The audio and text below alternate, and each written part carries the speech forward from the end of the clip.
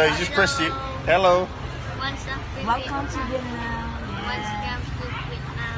Uh, Are you you're sure gonna- you're Vietnamese? Huh? You look, He's gonna look join us for a bit of dinner. Thank you.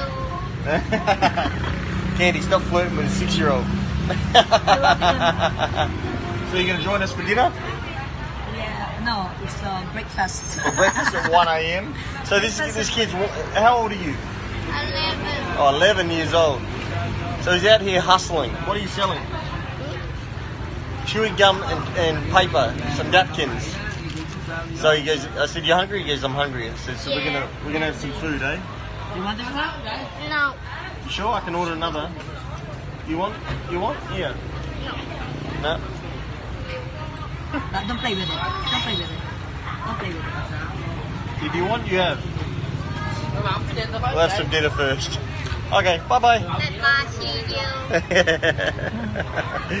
Dude.